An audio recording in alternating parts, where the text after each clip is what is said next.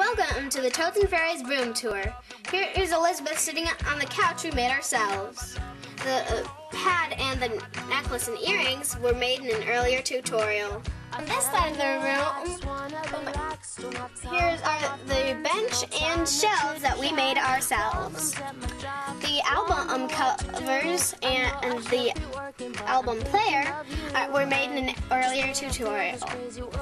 The guitar in the corner was a gift from our friends and this picture or in the picture holder was made in the how to make an American Girl doll picture holder tutorial.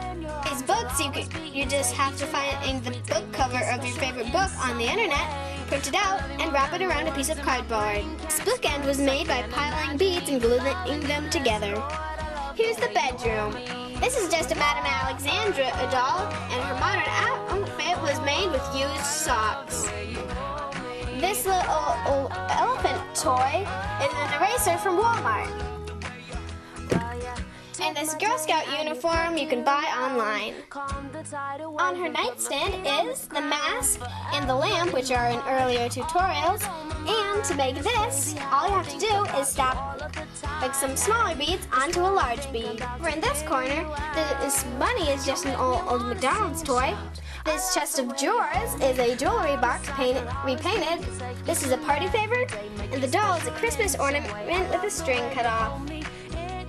Will always be a take each and every day, make it special in some way. I love you more than the words in my brain can express. I can't imagine even